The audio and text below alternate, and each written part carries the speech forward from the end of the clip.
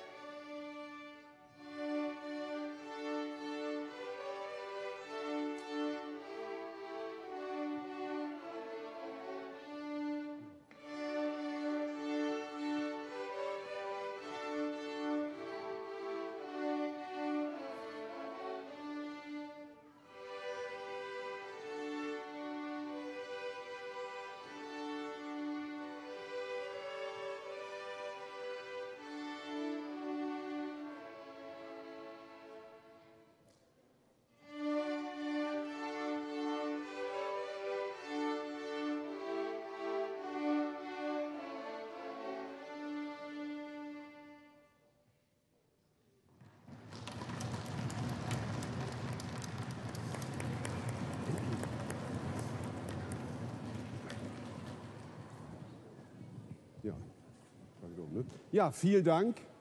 Das war ganz toll. Äh, erstaunlich, dass man aus so einem kleinen Holzkistchen mit ein paar Seiten dran so schöne Töne rausholen kann. Und warum das so ist, darum wollen wir uns heute mal ein bisschen kümmern. Jetzt brauche ich meine Maus, damit es weitergeht.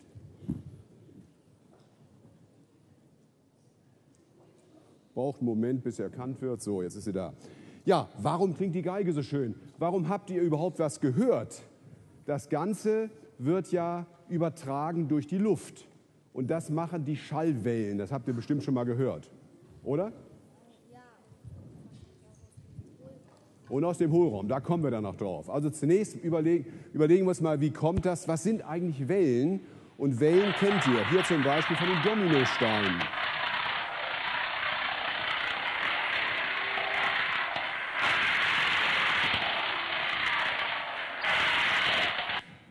Ups, so. Ja, Wellen, das wollte ich ja noch gar nicht. Zurück. Äh, bei einer solchen Welle, genau wie bei dieser Laola-Welle, die kennt ihr ja vielleicht, ist ja eins typisch, dass die, wie bei den Dominosteinen, die Steine eigentlich da bleiben, wo sie sind. Die wandern ja nicht mit und laufen nicht mit, wenn die Welle fortläuft. Genauso wenig wie die Leute hier Domlauf, die bleiben alle stehen und bewegen sich nur am Ort. Und das ist typisch für eine solche Welle, dass sich nur die Teilchen, hier die Menschen, äh, die Dominosteinchen oder auch Luftteilchen nur örtlich bewegen und immer so eine Störung wie hier weitergeben. Und das werden wir jetzt mal im Hörsaal probieren. Wir machen jetzt auch mal eine solche Laola-Welle. Genau, Licht an. Wir fangen da hinten an. Ihr steht einfach auf und sagt und setzt euch wieder hin. Und wenn der Nachbar aufsteht, äh, dann steht ihr auch auf. Das geht dann so ganz langsam, aber nicht zu früh aufstehen, wenn die hinten schon aufstehen gleich, sondern erst wenn der Nachbar aufgestanden ist, dann steht ihr auch auf und macht so und setzt euch wieder langsam hin. Okay? Wir fangen da außen an. Drei, zwei, eins, auf geht's. Aufstehen. Ja, nein, Das funktioniert, das müssen wir mal üben. Ihr müsst alle aufstehen außen. Ihr seid wohl gerade erst aus dem Bett gekommen. Das machen wir nochmal. Die äußere Reihe, hebt mal die Finger bitte hinten außen hoch. Ist jedem klar, wer die äußere Reihe ist? Genau. Und ihr steht jetzt alle auf und sagt, oh, und dann setzt ihr euch wieder langsam hin. Okay? Aufstehen und alle. hinsetzen. Und wir fangen an. Achtung und hoch, hoch. So, hoch. Ihr setzt und euch weiter hin durch. und der Nachbar, genau. Und hier durch. Und ja, jetzt ja, wird's, so langsam. genau. Ja, und wieder hinsetzen. Super. Ja, wunderbar. Klasse.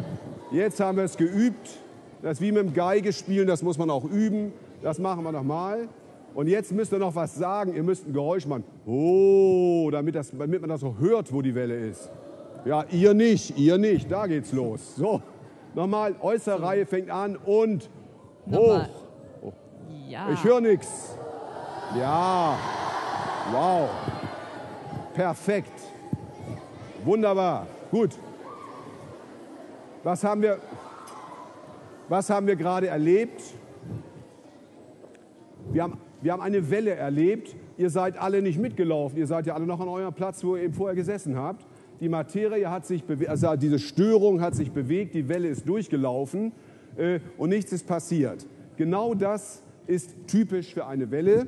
Äh, wie wir es hier bei der Laola-Welle sehen, das kennt ihr natürlich auch von anderen Wellen, zum Beispiel von der Wasserwelle. Wenn irgendwo der Wind ist, wir haben eine Wasserwelle, dann habt, ist euch bestimmt schon mal aufgefallen, wenn dort ein Hölzchen, Stock oder irgendein Stück Papier auf dem Wasser liegt, das Stück Papier läuft nicht mit der Welle mit, sondern das dümpelt so auf der Welle rauf und runter. Wenn ihr mal hier auf den roten Punkt schaut, den ihr dort seht, dann, äh, ups, Wo ist er denn? Kommt jetzt nicht. Naja, da ist, wenn ihr auf den roten Punkt schaut, dort in, äh, in der Mitte, dann seht ihr, dass der sich auch nur so örtlich wie ihr euch örtlich bewegt hat, aber er geht, läuft nicht mit der Welle durch. Das sieht man an jedem Stück Holz auf dem Wasser. Äh, Spiralfeder, dazu machen wir noch mal ein kleines, ja, es gibt noch eine andere Welle, die wollte ich jetzt, die wollte ich jetzt nicht machen. Psst. Das wäre mir viel zu gefährlich mit euch. Ihr schubst ihr euch noch um wenn wir das machen. Aber das ist genau, ist genau das Gleiche wie mit der Laola-Welle, die wir eben gemacht haben. Und jetzt kommen noch mal kurz Lukas und Annette und zeigen uns äh, eine solche Längswelle, wie wir sie hier gerade gesehen haben, mit dieser kleinen Spiralfeder. Ja? Du schubst und Annette hält ihn fest, okay? Schön stramm ziehen. Noch ein bisschen strammer, noch ein bisschen strammer. So ist wunderbar. Und jetzt einmal ganz kurz. Genau. Und man sieht deutlich, wie so eine, weiß nicht, ob ihr es äh, vor, könnt ihr es hinten sehen? Vielleicht tretet hier mal weiter vor die weiße Wand, das ist noch besser. So, könnt ihr es alle sehen? Wunderbar. Man sieht deutlich, wie so eine Welle dort hin und her läuft. Genau das, was, was wir auch gerade mit der Laola-Welle gesehen haben. Das ist eine Längswelle. Die Welle läuft ja längs durch dieses Teil durch. Und genau so funktionieren auch die Schallwellen, äh, die Schall, und bei den Schallwellen, jetzt müssen wir wieder rumschalten, äh, bei den Schallwellen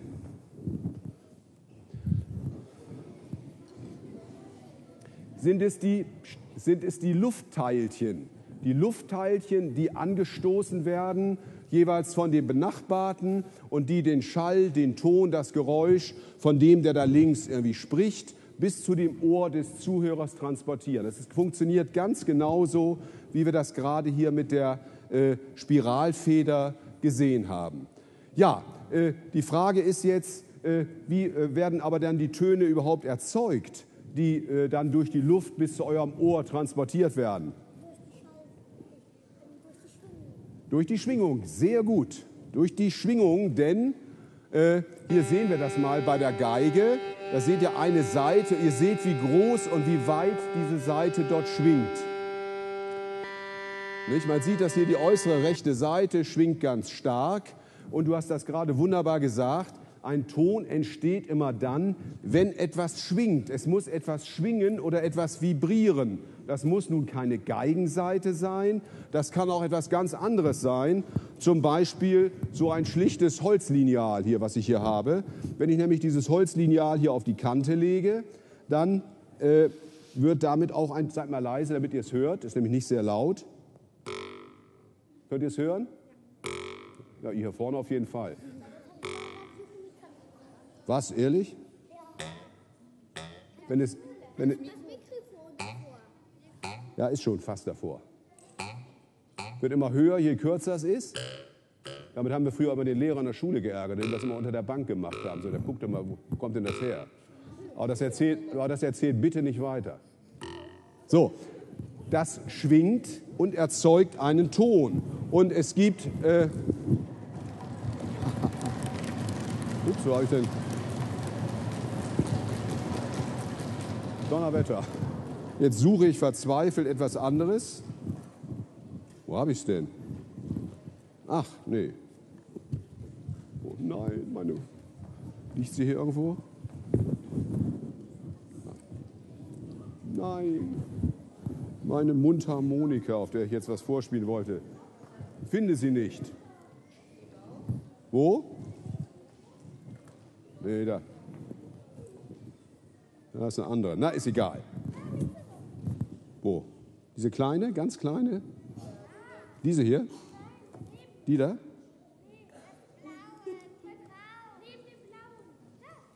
Das hier, ja, ja, schon. Hä? Neben dem Blauen?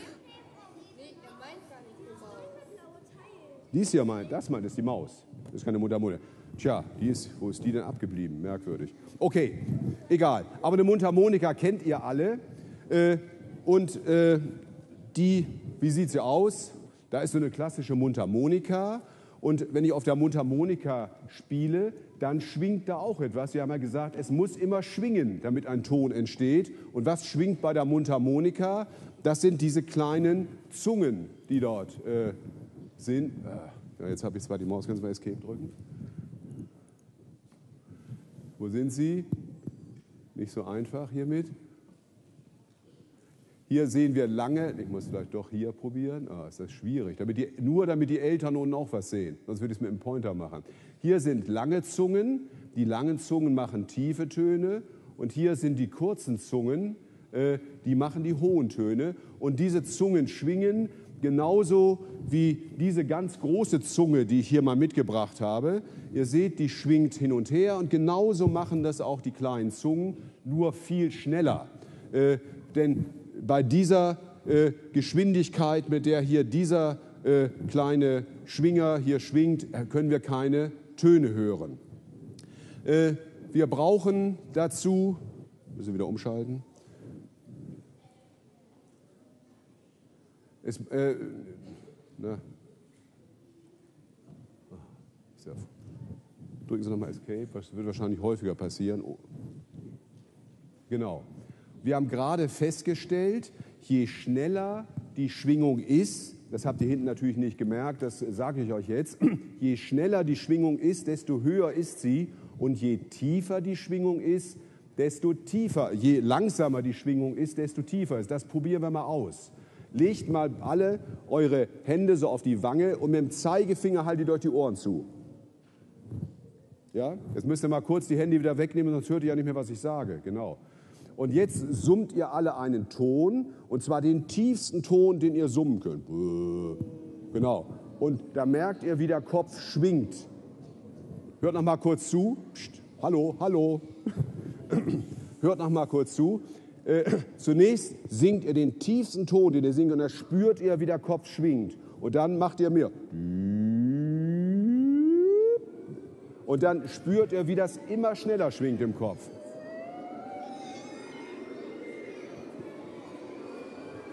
Fantastisch.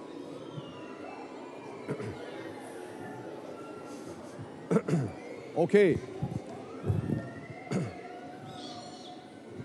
Da könnt, könnt ihr ja gleich bei Thomas Gottschalk mit auftreten. Danke. So, jetzt alle ganz wieder, ganz, ganz leise. Genau. Ganz leise. Es war toll könnten wir das nächste Mal bei Wetten das mit auftreten. Wetten, dass wir tausend Kinder zum Juchzen bringen oder irgend sowas.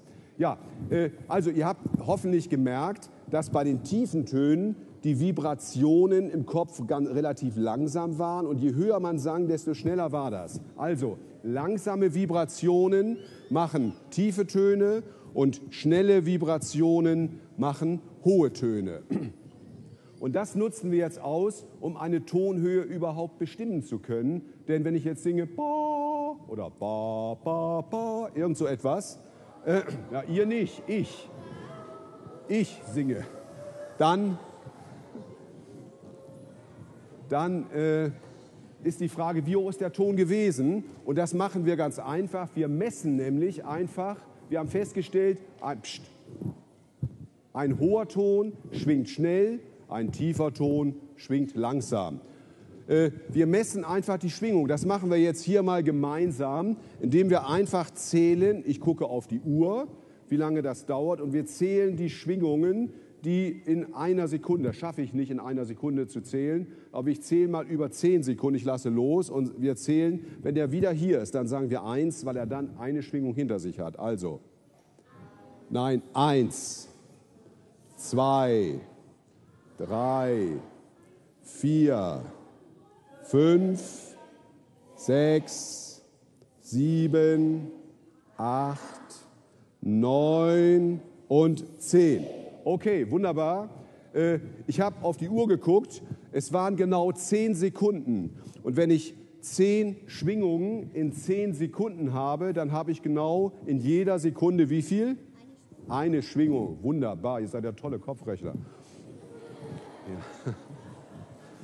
ja, also, dann haben wir eine Schwingung pro Sekunde. Nun, pst, nun ist es natürlich ziemlich mühselig, immer zu sagen, äh, ich habe eine Schwingung pro Sekunde oder die Geige stimmen wir mal auf 440 Schwingungen pro Sekunde. Das dauert so lange, also kürzt man das ab und sagt, eine Schwingung pro Sekunde oder Schwingung zähle ich in Hertz. Ich sage, 10 Schwingungen pro Sekunde sind 10 Hertz. Übrigens ein Herz mit einem T geschrieben, nach einem berühmten Physiker namens Herz, nicht nach dem, was hier bei euch am rechten Flecke schlägt. Das ist äh, äh, eine, genauso wie wir, das kennt ihr alle, wie wir Entfernungen auch hier vorne auf der Bühne von der Wand zu der Wand nicht messen, indem wir sagen, da passt zehnmal ein solcher Zollstock rein, sondern wir sagen, das ist zehn Meter zum Beispiel. Ja? Das ist also einfach eine Einheit. Zehn Hertz heißt zehn Schwingungen pro Sekunde. 1000 Hertz heißt 1000 Mal pro Sekunde. Unheimlich schnell. Und das hören wir dann. Und das wollen wir uns jetzt mal anhören. Ein Hörbeispiel in dem Hörbereich von 20 Hertz bis 16.000. Das ist so etwa da, wo wir aufhören zu hören. Und jeder, der nichts mehr hört in der Höhe, der nimmt den Arm hoch. Nee, der nimmt ihn runter. Wir heben alle mal einen Arm hoch. Und wenn wir nichts mehr hören, dann nehmen wir einen Arm runter. Mal sehen, wer am meisten hört. Und es geht los. Dazu muss ich einmal klicken. So. Das 20.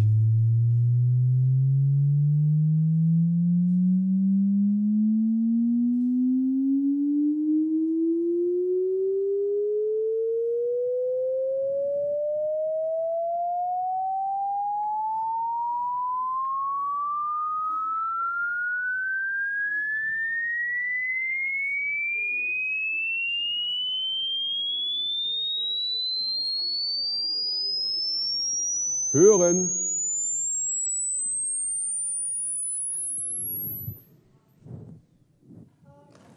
Okay, also ihr habt gemerkt, ihr seid gut. Ihr habt eins gemerkt, ich habe viel früher, ich habe viel früher als ihr die Hand runtergenommen. Das ist typisch, wenn man älter wird, dann hört man in der Höhe nicht mehr so gut. Ihr habt ja alle fast bis 16.000 Hertz gehört, das ist schon ganz schön hoch. Ne? Ja, wunderbar. Das ist so. Wie bitte? 20.000 Hertz habe ich hier nicht drauf.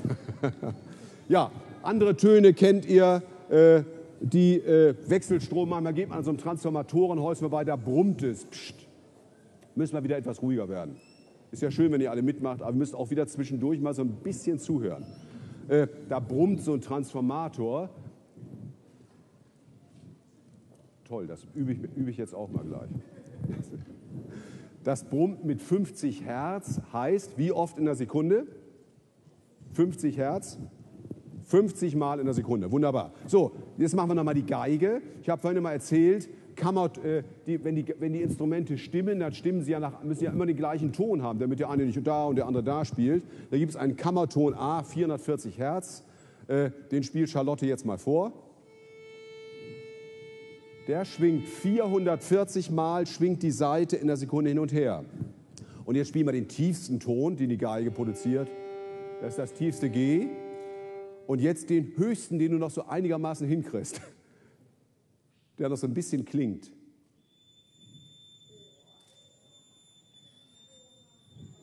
Wunderbar, ne? Vielen Dank. Aber. okay.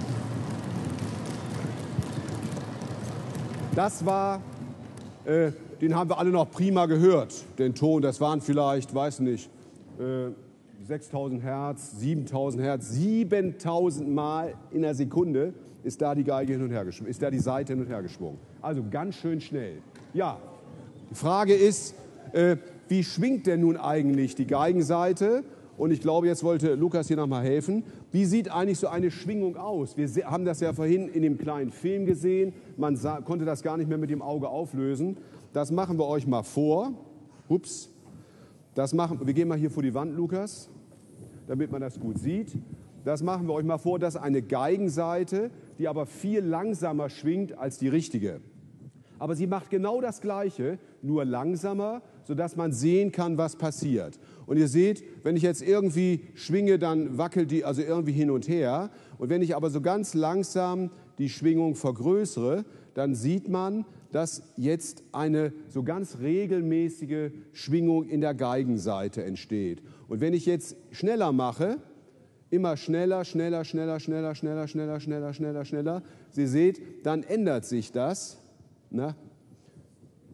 Jetzt haben wir also eine Schwingung, die hat zwei Bäuche. Könnt ihr das erkennen? Und jetzt mache ich noch schneller, noch schneller, noch schneller. Drei. Und jetzt mache ich noch schneller. Hoffentlich kriege ich es hin. Ah. Da haben wir jetzt vier Bäuche. Das geht, die, die Schwingungen finden immer statt. Vielen Dank. Wollen wir nicht so eng zusammen. Brauchst du nicht so eng, danke. Die Schwingungen das sind die Schwingungen einer Geigenseite, in der eine Geigenseite schwingt. Und ihr seht, das sieht so ganz regelmäßig aus, wie ich das hier auf dem Bild gemalt habe. Die ersten vier habe ich geschafft. Dann gibt es auch noch fünf und sechs und sieben bis hin zu 20, 30, 40 und so weiter. Nur da müsste ich so schnell zittern, das schaffe ich einfach nicht. Äh, bei den äh, sehr langsamen Schwingungen, das haben wir vorhin schon gelernt, entstehen die tiefen Töne. Und bei den äh, wo ich das sehr schnell gemacht habe, schnelle Schwingung haben wir ja festgestellt, gibt hohe Töne. Das sind, äh, man nennt diese Töne, äh, das sind, äh, weil sie ganz natürlich entstehen, wenn ich immer schneller hinten das, äh, diese Seite bewege. Man nennt diese Töne, die eine solche Seite produziert oder auch diese Formen, die wir dort sehen, nennen wir Naturtöne. Das sind die Naturtöne, weil die ganz natürlich so entstehen. Das sind Naturtöne. Und es gibt dann unten, ja, und diese Naturtöne schwingen nun nicht alleine, sondern sie schwingen meistens gleichzeitig. Es schwingt also nicht nur äh, eine, äh, es schwingt also nicht nur die Grundschwingung. Ich mache das mal wieder an diesem Schwinger klar. Das ist ja auch ein Schwinger, genau wie die Seite, der nur so ein bisschen, der etwas anders schwingt, aber macht ansonsten das Gleiche. Der hat ja auch eine Grundschwingung. Das entspricht beim Seil dieser mit einem Bauch. Das ist die Grundschwingung. Der hat auch eine Oberschwingung. Das entspricht beim Seil der mit den zwei Bäuchen. Ich die hier mal so antippe, seht ihr, die ist viel schneller. Ja? Das ist die Oberschwingung. Natürlich, es können jetzt auch beide zusammenschwingen, nämlich die Grundschwingung und die Oberschwingung. Dazu muss ich das nur so anschauen. Ihr seht, er wackelt hin und her und man erkennt, es ist einmal diese Grundschwingung ist drin, der Grundton und auch gleichzeitig die Obertöne. Die schwingen also meistens gleichzeitig äh, und die schwingen äh, meistens gleichzeitig. Das Problem ist, dass wir, das waren ja sehr langsame Schwingungen, wenn die Schwingungen sehr schnell sind, dann können wir sie hören, dann entspricht auch dieser sehr schnellen Schwingung ein weiterer Ton. Unser Gehirn ist so angelegt, dass wir diese verschiedenen Töne gar nicht mehr einzeln hören können, sondern wir mischen das sozusagen im Kopf zusammen und hören einen Klang, der sich ändert. Das kann man sich schwer vorstellen und aus dem Grunde will ich euch das jetzt mal mit einem Synthesizer äh, entsprechend äh, vorführen, wie sowas geht, wie man Klänge, äh, verschiedene Obertöne zusammenmischen kann. Das war noch der falsche. Da ist er. So, hier haben wir so einen Synthesizer und wir machen zunächst mal wirklich nur die Grundschwingung der Seite. Das war also diese Schwingung, die ganz langsam war, die, die wir zuerst gesehen haben, die mit einem Bauch. Die klingt, wenn sie 220 Mal in der Sekunde schwingt, so. Müsste ein bisschen lauter sein, geht es? Also nicht ihr, sondern äh, die Lautsprecher. Ne? Noch ein bisschen vielleicht? Okay. So, jetzt nehme ich mal einen Oberton dazu. Das heißt, die zweite, die auch mitklingt, das war ja die mit den zwei Bäuchen, die wir gesehen haben. Die mische ich auch mal mit dazu. Die klingen jetzt gleichzeitig und ihr stellt fest, das klingt plötzlich anders. Hört mal genau hin. Klingt ein bisschen anders, noch nicht so sehr. Ich mache das mal ein bisschen stärker. Psst, müsst ihr genau horchen. Jetzt nehme ich die dritte mit dazu. Das ist die mit den drei Bäuchen. Klingt ein bisschen heller, ne? Ich nehme die vierte mit dazu. Achtung, immer genau horchen. Klingt noch heller, ne? Nehmen wir mal diese hier, ein bisschen mehr vielleicht. Achtung. Und die sechste, das ist die mit sechs Bäuchen. Klingt immer heller. Je mehr Obertöne ich dazu nehme, desto heller klingt's. Jetzt machen wir die mal ganz stark. Ne? Ihr merkt,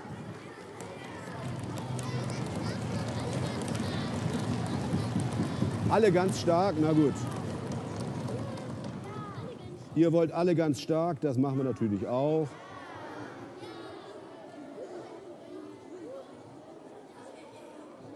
Achtung, Ruhe. Psst. Klingt so ein bisschen quäkig. Ja?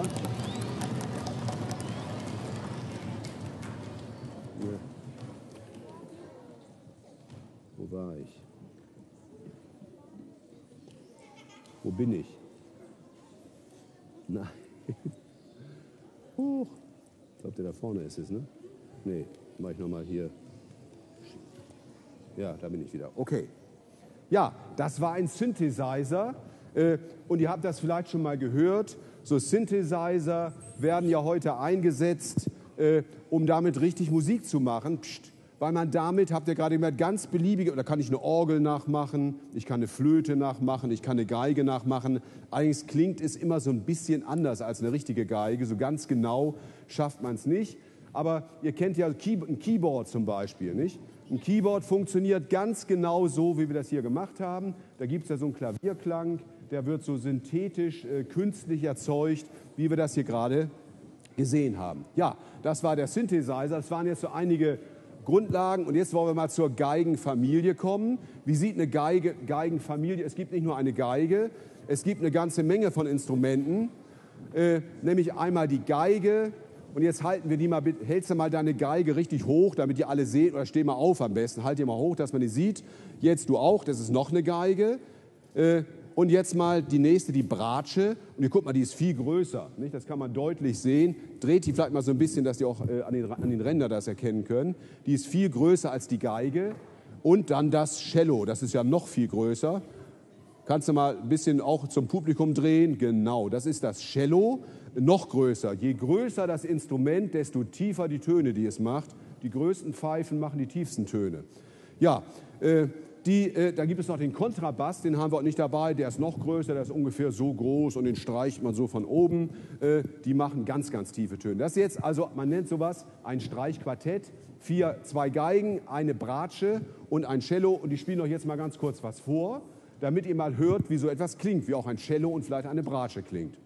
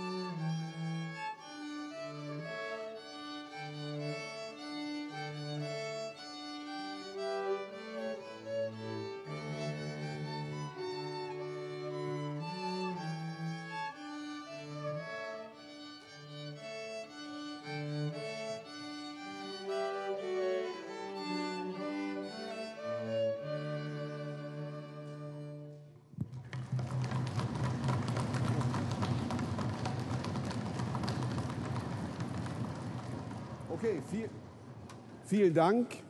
Ganz toll. Und ihr habt mal gehört, so ein Cello macht ganz tiefe Töne, die Geige spielt oben, hat ganz helle Töne, dazwischen liegt die Bratsche, die, die Zwischenstimme. Das war also ein Streichquartett. Ja, wie sieht nun eigentlich so eine, Sie haben sie gerade gehört, ich weiß nicht, ob viele von euch schon eine Geige genauer gesehen haben. Äh, Charlotte, könntest du mal freundlicherweise hier vor die Kamera treten, damit wir uns die mal etwas im Film anschauen können? Jetzt müssen wir hier mal draufhalten. Ja, willst, willst, mach du das mal. Du weißt, du weißt wie, dass es eine Decke gibt und einen Steg. Achso, jetzt haben wir, warte, ich hole das Mikro. Halt, halt, halt, halt, halt. Ist mir auch gerade aufgefallen. Kommt doch mal so ein bisschen in die Mitte hier. Ich soll es ich soll's sagen. Gut, also, äh, hier oben drauf, das ist die, man nennt es die Decke der Geige. Äh, auf der anderen Seite, Rückseite ist der Boden, kann man sich vorstellen. Ne? Dazwischen, diese Seite nennt man Zarge. Und jetzt kommt das Wichtige, das sind die Seiten, die wir hier oben sehen. Vier Seiten hat die Geige. Äh, und die Seiten werden hier über einen Steg äh, gespannt, die wir hier erkennen. Und der Steg, der Steg überträgt dann, darauf kommen wir dann noch zu sprechen, die Schwingungen der Seite in den äh, Körper, in den, Korb, in, den, ja, in den Körper der Geige. Das ist zunächst die Geige. Vielen Dank. Äh, und wir schalten wieder um. Ich habe als nächstes hier nochmal so eine äh, kleine Explosionszeichnung, nennt man sowas. Da ist die Geige mal auseinandergesägt. Man kann auch mal reingucken. Da sehen wir oben nochmal die Decke, unten sehen wir den Boden. Man erkennt den Steg dort oben drauf, der dann direkt auf der Decke sitzt. Und ihr erkennt noch zwei Dinge. Äh, das ist hier der Stimmstock, das ist dieses kleine Hölzchen, der sitzt zwischen Decke und Boden und verbindet die beiden. Und ein, äh, neben dem und ebenfalls unter die Decke geleimt, den sieht man deshalb von außen nicht, ist dieses längliche Hölzchen, was hier sitzt, der sogenannte Bassbalken. So sieht eine Geige von innen aus. Die ist also nicht völlig hohl, sondern sie hat so einen Stimmstock und einen Bassbalken. Darüber werden wir uns gleich noch kurz unterhalten. Ja, aber um einen Ton zu erzeugen, brauchen wir natürlich noch was. Das habt ihr gesehen, das ist der Geigenbogen. Hier habe ich den mal dargestellt. Äh, der Geigenbogen besteht oben aus Holz. Hinten am Ende äh, ist der sogenannte Frosch, heißt er. Du weißt das schon? Genau, die Haare, woraus bestehen, die gute Frage, komme ich sofort drauf. Ach, ihr wisst das alle schon. Aber gebt noch zwei Sekunden, okay? Zunächst ist das hier der Frosch und an der Schraube dort hinten rechts kann ich unten diese Bespannung straffen. Dann kommt hier die Bogenspitze, die sieht so aus. Wenn ich drunter gucke, sieht sie so aus. Und da sieht man etwas. Da war gerade schon die Frage, was ist denn das eigentlich? Ihr wisst das natürlich alle, nämlich, was sind es? Nee, wir nehmen mal da hinten jemanden. Du mit dem weißen Pullover. Genau, Pferdehaare sind das, die kommen vom Pferd. Deswegen, wir haben die Frage schon beantwortet, die ich hier mit Fragezeichen, was ist denn das eigentlich, gemacht habe. Da steht der Lieferant. Da haben wir den Lieferanten des Geigenbogens, äh, nicht der ganze natürlich, sondern äh, man schneidet ihm mal so ein paar Haare hinten raus. Finde ich ein bisschen gemein, ich, muss ich sagen. Wenn ich Pferd wäre, würde ich das nicht toll finden. Aber der Vorteil ist, wir können damit einen Geigenbogen bauen und diese Haare äh, sind die Teile, die dann über die Seite streichen. Hier sieht man das mal. Übrigens, Pferdehaare haben ganz erstaunliche Eigenschaften. Die haben eine unheimlich hohe Festigkeit, fast wie die Festigkeit von Stahl. Ein solches Pferdehaar. Ganz, ganz fest. Das ist natürlich einer der Gründe, weshalb sie gerade für einen solchen Geigenbogen gut geeignet sind.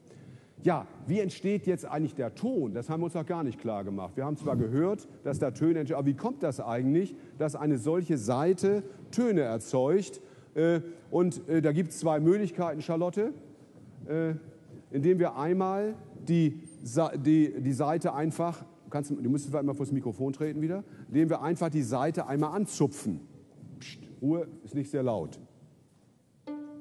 Genau. Da hören wir einen Ton, aber der ist gleich weg. Mach nochmal. Jetzt können wir natürlich versuchen, äh, wenn wir einen stehenden Ton hören wollen, wie wir es ja eben immer gehört haben, dass wir nicht einmal zupfen, sondern ganz schnell und versuchen, den Ton so zum Stehen zu machen. Probier das mal. Ist nichts, geht nicht, schafft sie nicht. Noch schneller. Schneller, schneller, schneller, schneller, schneller. Mach nicht die Geige kaputt. Ja, genau. Aber wir hören das immer noch ganz deutlich als Einzelton. Ne? Wir hören lauter einzelne Töne. Also so kann es nicht funktionieren. Wie funktioniert es denn? Äh, es, äh, wir müssen die Geigenseite ganz schnell anzupfen. Und wenn wir sie ganz schnell anzupfen, wieder zurück bitte. Ja, wenn wir sie ganz schnell anzupfen, das, halten wir diese Schwingung am Laufen. Und wie man eine solche Schwingung am Laufen hält, das wisst ihr bestens, das macht ihr regelmäßig. Äh, nämlich so hält man eine Schwingung am Laufen. Das ist euer täglich Brot, zu schaukeln, immer im richtigen Moment so einen kleinen Schubs geben, dann schaukelt das wunderbar weiter und man muss sich dabei überhaupt nicht anstrengen.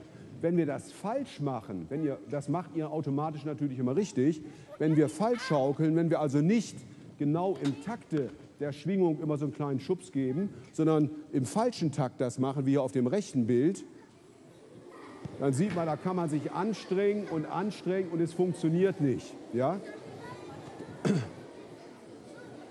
Und er strengt sich richtig an, viel mehr als vorher. Vorher war das so ganz locker. Also, was hat. Wunderbar.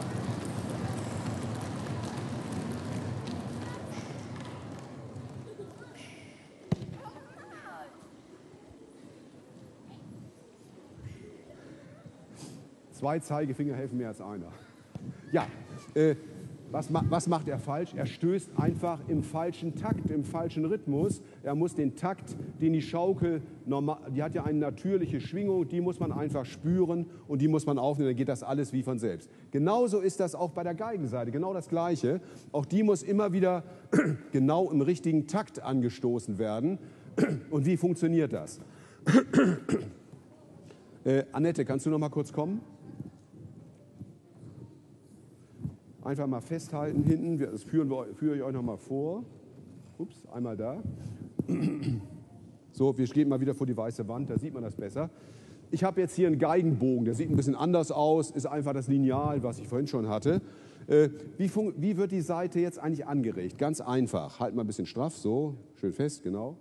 Äh, ich streiche jetzt mit dem Geigenbogen herunter und beachtet mal die Seite. Gerade auch im Schatten sieht man, die Seite wird über die Reibung die ich hier ausübe, ein Stück mitgenommen. Äh, und irgendwann, wenn die Seite so stark gespannt ist, dann rutscht sie plötzlich zurück. Nochmal. Zack, sie rutscht hoch. Sieht man nicht so richtig toll, aber äh, man, nicht, äh, die Seite ist gespannt und flupp rutscht sie hoch. Irgendwann ist die Seite so stark gespannt, dass sie einfach äh, an, der, an dem Bogen dann hochrutscht. Der Bogen hat sie über Reibkräfte vorher mitgenommen. Können wir einfach hier so hinlegen. Danke. Äh, das ist zunächst der Effekt. Äh, die Seite wird einfach mitgenommen und das habe ich euch jetzt in so einer kleinen Animation hier nochmal gezeigt. Die Seite wird zunächst, wird so, die wird dann dreiecksförmig. Ich piek da ja so rein, ich schiebe sie mit dem Bogen weg. Sie wird drei, na, hier sieht man es nochmal anders. Äh, da sehen wir unten das Gelbe, was sich da so nach links bewegt. Das ist, sind die Pferdehaare. Das ist der Bogen, auf den wir von unten drauf gucken. Und dieses äh, silberne Teil, was da von oben nach unten läuft, das ist die Seite. Ganz stark vergrößert und auch in Zeitlupenaufnahme ganz langsam, dass man das auch, denn sonst geht das 400 Mal pro Sekunde. So schnell könnt ihr gar nicht gucken. Äh, man sieht sehr deutlich, wie die Seite mitgenommen wird und wie sie dann plötzlich, stehe ich davor, müsst ihr was sagen, ne? Äh, und wie sie dann plötzlich zurückrutscht. Das ist der Mechanismus bei der Geige. Die Seite wird mitgenommen, dann irgendwann löst sie sich vom Bogen und schnell zurück.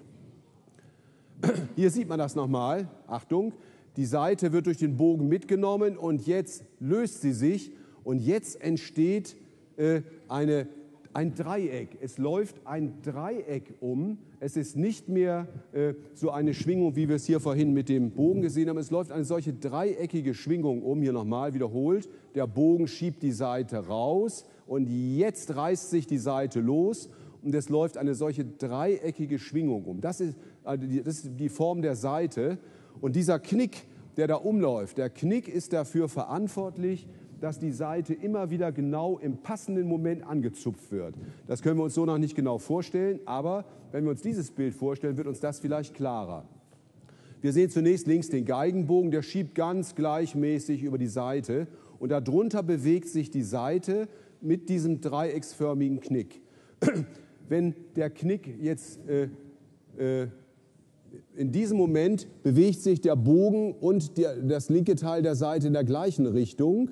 Äh, wenn der Knick oben den Bogen passiert hat, wenn er durch ist, dann ist er plötzlich, bewegt sich die Seite in die entgegengesetzte Richtung wie der Bogen, dann reißt sie sich los. Achtung, noch hängt sie fest und jetzt reißt sie sich wieder los, der Bogen, äh, äh die Seite rutscht am Bogen lang und nochmal hängt am Bogen fest und reißt los.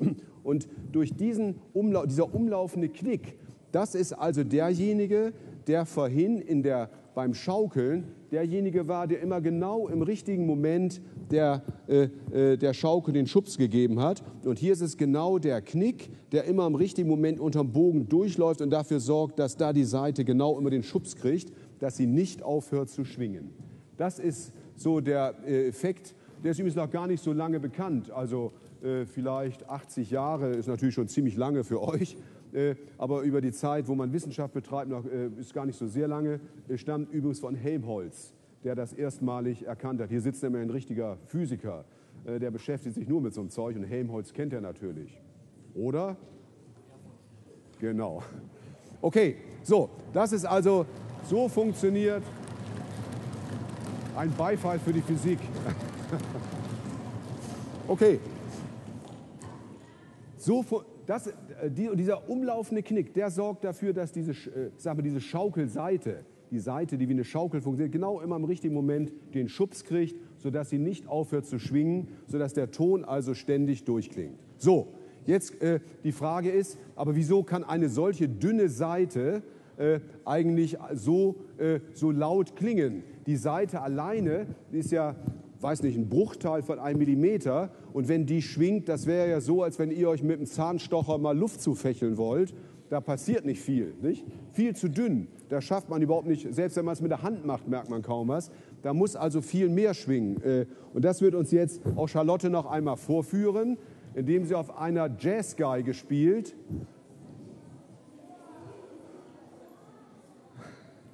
Sieht cool aus. Eine Jazzgeige hat kein, besteht nicht aus Holz. Dieser Holz ist ein Resonanzkörper, darüber sprechen wir gleich noch, sondern bei der Jazzgeige, jetzt müsst ihr ganz leise sein, sonst hört ihr das nicht. Bei dieser Jazzgeige hört man nämlich nur die Saiten klingen. Und jetzt müsst ihr ganz leise sein, damit ihr überhaupt was hört. Psst, absolute Stille. Und Charlotte spielt jetzt äh, einige Takte aus dem Haydn, Haydn-Violinkonzert in Gustav, in G-Dur.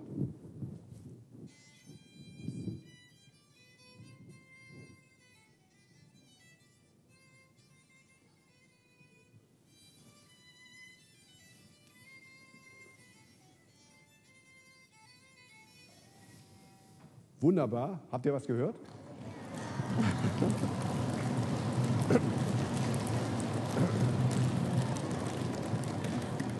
Das war natürlich nicht besonders laut. Ihr musstet das tun, was euch ganz schwer fällt, nämlich mal leise sein, um das zu hören. Das war natürlich ein Trick von mir, damit ihr einfach mal leise seid.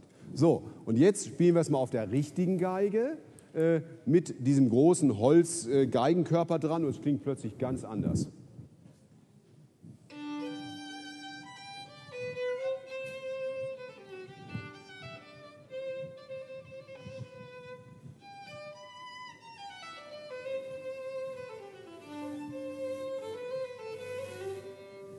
Wunderbar, vielen Dank.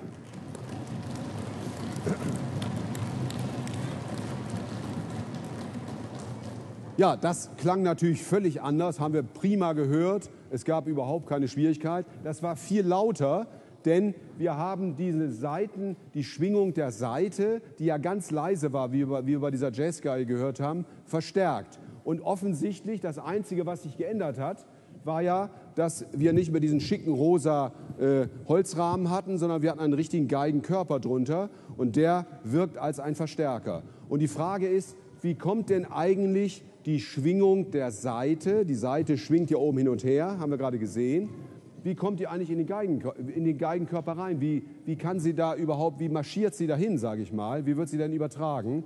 Hier ist nochmal die Seitenschwingung, so sah das ja aus, nicht? So schwingt die Seite hin und her. Und wie kommt es jetzt eigentlich, äh, dass der Geigenkörper dadurch erregt wird, durch diese Schwingung?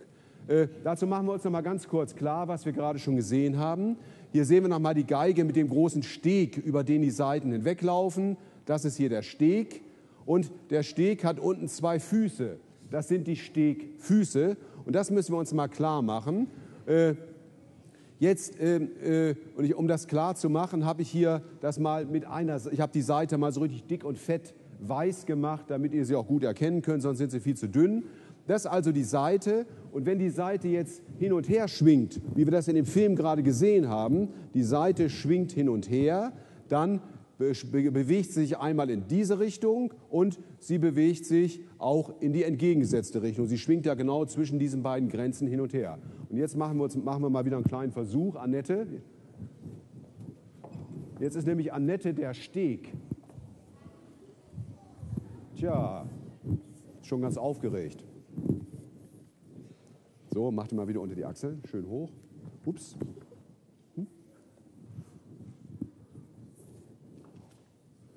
Wir machen jetzt kein Seilspringen, sondern was anderes. Also Annette, das ist die Seite, die oben über den Steg geht. Stell dich mal schön breitbeinig hin, Arme so ein bisschen, du siehst, siehst du aus wie ein Steg. Nee, wir machen das mal so ein bisschen schräg. Vielleicht sehen wir das dann sogar besser. Ich stelle mich mal hier hin. Ihr seht es nicht, ich gehe geh jetzt runter, keine Angst. So, also das ist die Seite. Annette ist der Steg, wo oben die Seite drauf ist. Wenn jetzt die Seite horizontal hin und her schwingt, dann schwingt die Seite einmal nach hier, dann geht sie nach da. Und dann geht die Seite nach da, da bewegt sich der Steg, weil, der, weil die Seite sie da ein bisschen rüberzieht. Und dann geht es wieder nach rechts, da zieht es den Steg wieder dahin, dann wieder nach links. Und so trampelt Annette auf, bei der schwingenden Seite auf dem Steg hin und her. Das ist, wollen wir noch eine Stunde weitermachen? Schneller? Okay, gut, wunderbar. Das ist. Danke.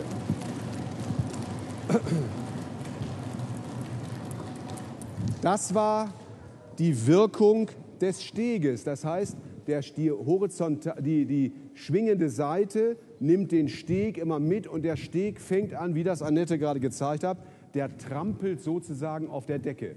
Er trampelt auf der Decke und überträgt so die Seitenschwingung auf die Decke. Wenn wir uns jetzt mal vorstellen, hier kommt nämlich jetzt eine kleine Animation, wir würden die Geige, ihr habt eine schöne Säge zu Hause und wollt da mal reingucken, dann setzt ihr die Säge dort an, wo ich den, äh, diese Striche gemacht habe und sägt mal unterhalb vom, vom Steg durch, aber fragt vorher eure Eltern, ob ihr das dürft. So eine Geige ist manchmal nicht ganz billig, kostet manchmal nur eine Million und sowas, also nicht besonders viel. Ne? Äh, wenn wir das mal gedanklich machen würden, dann äh, sieht die Geige ja so aus, wie wir das hier im Bild sehen. Wir sehen den Steg und wir sehen oben die Decke, unten den Boden und wir sehen jetzt auch wieder das, was ich vorhin erklärt habe, diesen Stimmstock, der zwischen Decke und Boden sitzt, der die Decke und Boden verbindet praktisch. Und unter dem anderen Stegfuß sitzt dieser Bassbalken. Das war dieses Stück Hölzchen, was da unter die Decke geleimt war. Ne? So, wenn jetzt, wenn ich den einfach mal wegnehme zunächst, sagt, der stört mich, ich schmeiße die mal raus, dann sieht, sehe das so aus, der Steg trampelt auf der Decke und bewegt die dünne Decke oben mit. Die dünne Decke wird einfach in Schwingungen versetzt, wie man das hier oben sieht, die verformt sich etwa so. Äh, wenn man das so machen würde, den Stimmstock rausnimmt und auch den Bassbalken, dann klingt die Geige ganz komisch. Die klingt dann so etwa wie eine Gitarre.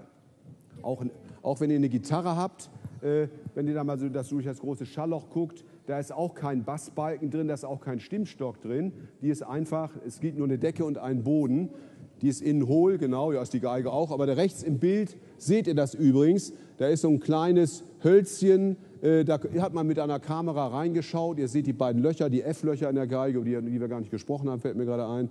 Äh, die verbinden das. Wenn ich jetzt einen Bassbalken einbaue dazu, dann äh, ändert sich das ein bisschen. Dann schwingt jetzt auch der Boden mit, wie man unten sieht. Der Boden ist viel dicker als die Decke. Der stützt also praktisch das Ganze so ein bisschen. Das heißt, dort, wo der Stimmstock sitzt, ist die Bewegung kleiner als dort, als dort wo der Bassbalken ist. Und man sieht, dass der Boden aber mit in Schwingung versetzt wird. Und äh, das ist genau der Mechanismus, dieser trampelnde Steg, der dort auf der Decke steht, nimmt einfach die Decke mit, versetzt die Decke in Schwingungen, sodass die dann die Töne entsprechend als Schallwellen abs äh, äh, äh abstrahlen kann. So, jetzt gibt es ja noch einen weiteren Aspekt.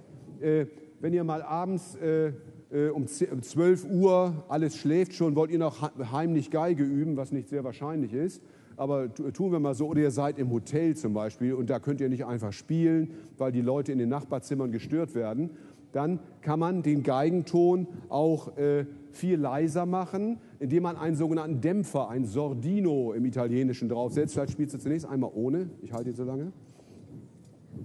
Zunächst einmal ohne, einfach ein paar Töne.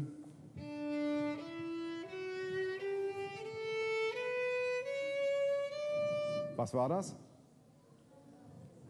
Du? Ja, eine? Ja. Genau, eine Tonleiter. Super. Jetzt mal das Ganze mit dem Sordino, mit dem Dämpfer.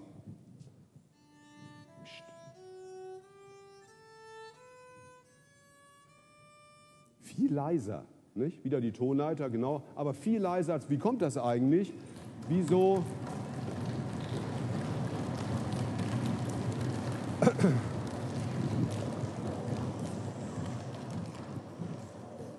Wieso ist das plötzlich leiser? Äh, das ist, womit hängt das zusammen?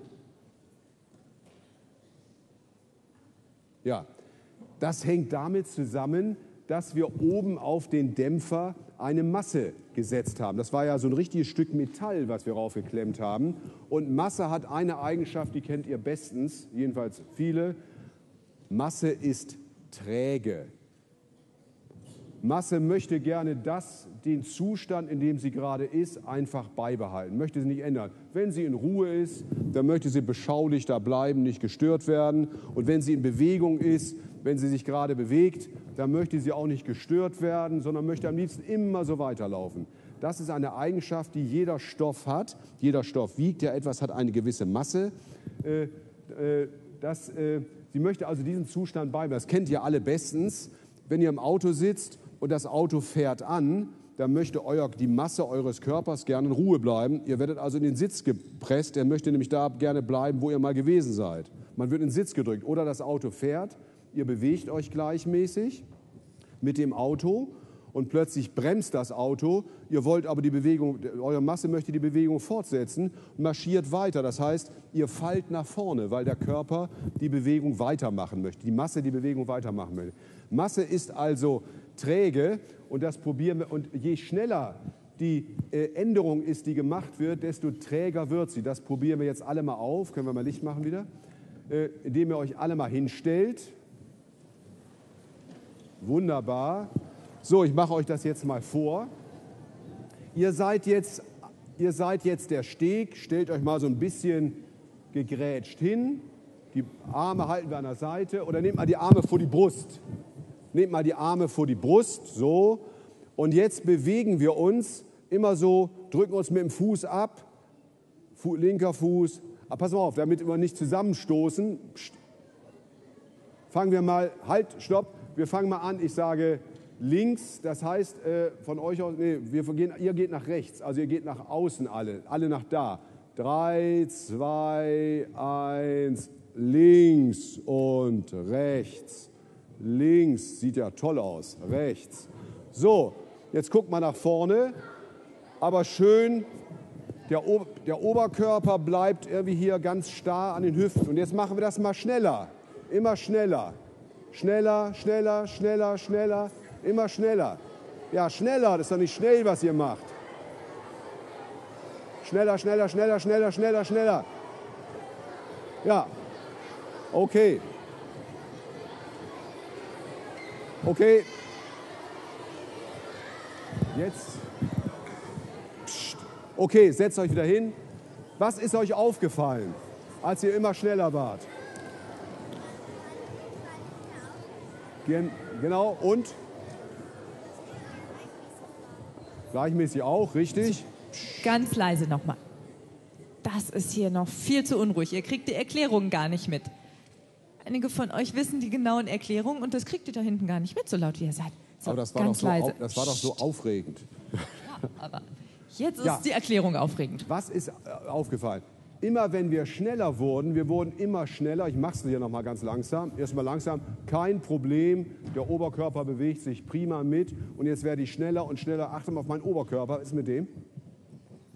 Der bleibt stehen. Je schneller ich werde, desto weniger folgt er und das ist genau eine Folge, weil die Masse meines Oberkörpers einfach träge ist. Die will, nicht, die will diese schnellen Änderungen nicht mitmachen, die bleibt einfach stehen. Könnt ihr nachher nach der Vorlesung nochmal unten ausprobieren. Ganz schnell bewegen, erstmal ganz langsam, geht das ganz einfach, kein Problem. Und dann immer schneller, immer schneller, immer schneller, immer schneller. Und irgendwann stellt man fest, man trampelt nur noch mit den Beinen, der Oberkörper steht. Und genau das Genau das ist die Wirkung des Dämpfers.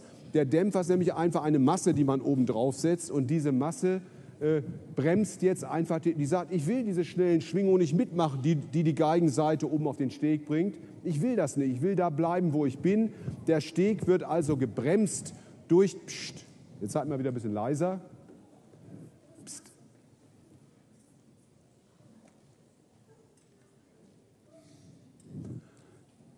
Der Steg, wird also, der Steg wird also durch diese aufgesetzte Masse einfach abgebremst. Der kann nicht mehr so schnell sich bewegen. Die Bewegung wird also immer weniger. Und wenn er sich immer weniger bewegt, dann trampelt er natürlich auch immer weniger auf der Decke herum, sodass der Geigenkörper immer weniger angeregt wird. Die Geige wird also leiser. Ja, äh, wir haben jetzt kennengelernt im Grunde die Seitenschwingung. Da oben sehen wir sie nochmal. Äh, es gibt noch eine weitere Schwingung, die ich nur am Rande erwähnen will, die ihr aber auch kennt. Das ist die Luftschwingung. Äh, in dem der Geigenkörper ist der einen hohl, das haben wir ja schon festgestellt. Und in jedem hohlen Körper kann die Luft schwingen, kennt ihr auch bestens.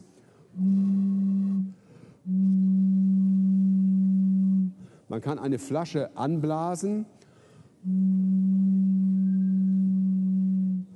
Man kann eine solche Flasche anblasen, da schwingt die Luft in dieser Flasche und genauso schwingt auch die Luft in, im Inneren des Geigenkörpers. Man spricht deshalb auch von einem Luftton. Die Geige hat einen Luftton, weil auch die Luft im Geigenkörper schwingt und diese Luft, die kann man, man kann diesen Luftton sogar hören, wenn man äh, einen Ton singt, der in der Nähe des Ds liegt, also der zweitiefsten Seite der Geige. Wenn man dort hinein, genau, der ist, hm, wenn ich jetzt singe, dann müsste man das in dem Luftton hören. Äh, das ist äh, der Luftton, den kann man dann hören. Der ist nicht sehr laut, aber pst, ihr seid jetzt etwas unruhig, seid mal bitte etwas leiser. Das trainieren wir nochmal. Es war eben toll leise bei der Jazzgeige. Viel zu laut, viel zu laut. Ja, so ist gut. Äh, das ist die Luftschwingung.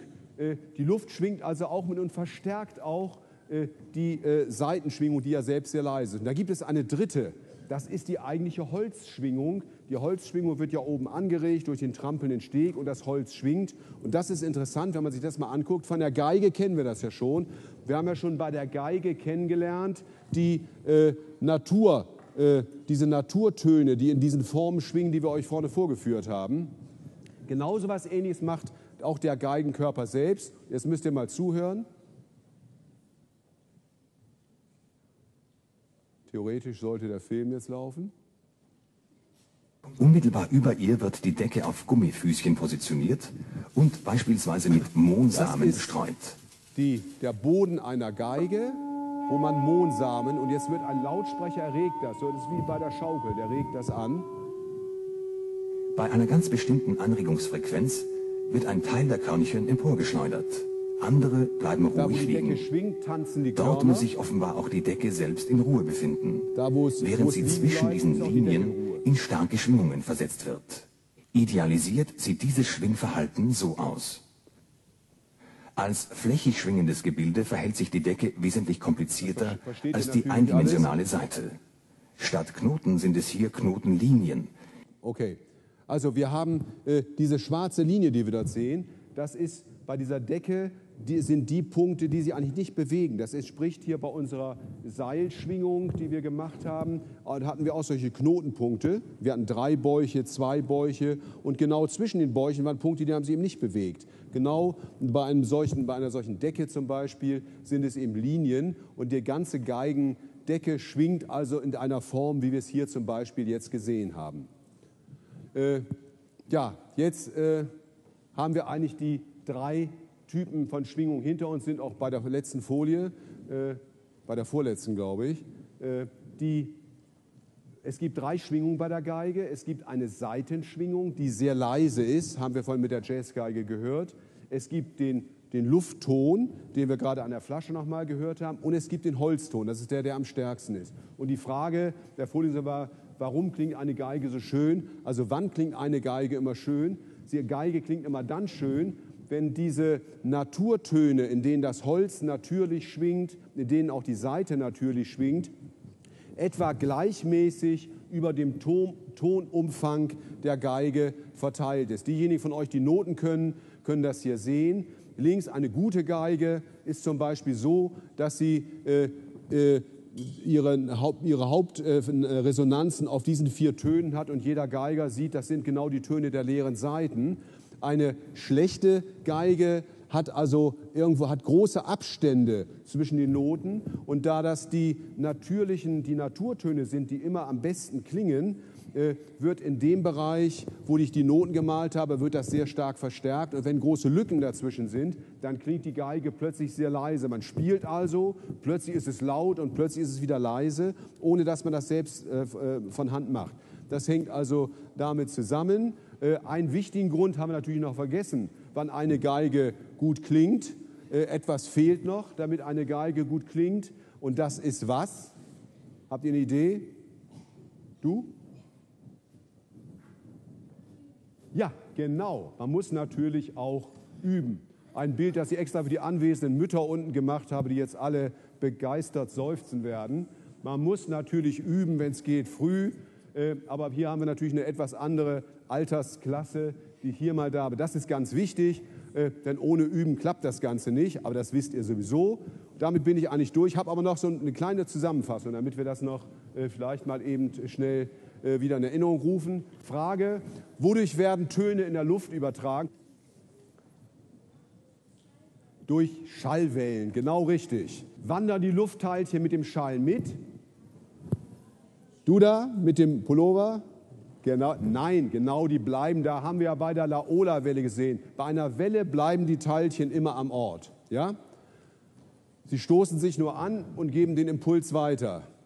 Wie wird eine Geigenseite immer wieder passend angezupft, dass sie wie bei der Schaukel einfach schön eine ständige Schwingung macht?